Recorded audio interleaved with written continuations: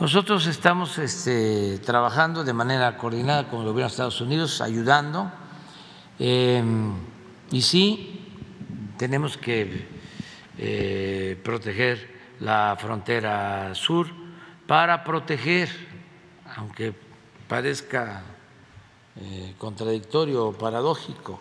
para proteger a los migrantes, porque no conviene, la travesía por el país es muy riesgosa y tenemos que cuidarlos. Los casos más lamentables de crímenes a migrantes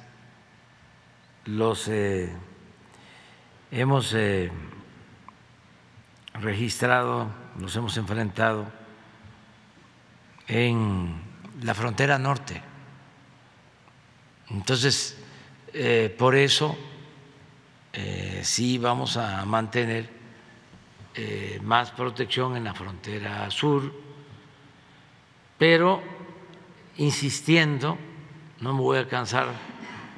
de insistir en que hay que atender las causas. La gente no sale de sus pueblos, no abandona a su familia por gusto, lo hace por necesidad.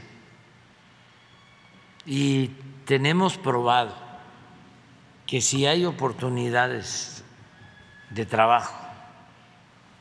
en Centroamérica, eh, se eh, disminuye, se reduce mucho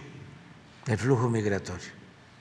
O sea que no es solo con medidas coercitivas cómo se va a resolver el problema. Entonces tenemos nosotros el compromiso con el gobierno de Estados Unidos de ayudar